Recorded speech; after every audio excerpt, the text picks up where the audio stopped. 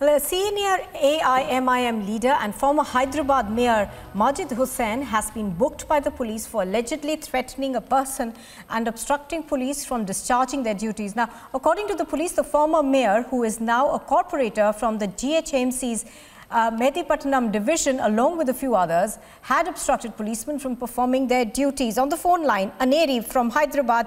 Aneri, good morning. Give us uh, details of uh, uh the altercation that took place.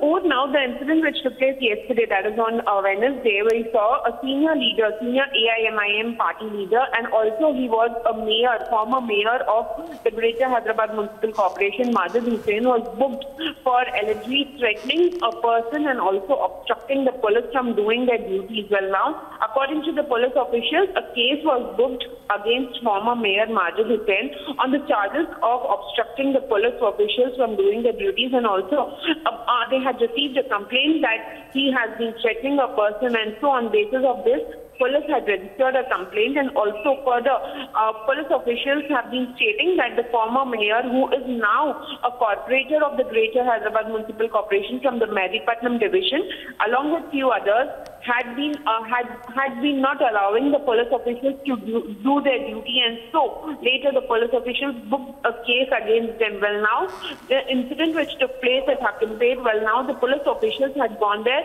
at a plot and Hakimpet following after they received a complaint that some persons had tried to cattle that that particular plot and later Hussain also spoke in a threatening voice and mm. so based on the complaint they had received uh, from the, uh, from the, against Hussain and later for not allowing the police officials to do their duty. Now the police officials have booked a complaint uh, right. uh, under section 3. Well, Aneri, uh, those visuals of course do seem to speak for themselves because he seems to lose control at the policeman. Uh, thank you for joining us, Aneri.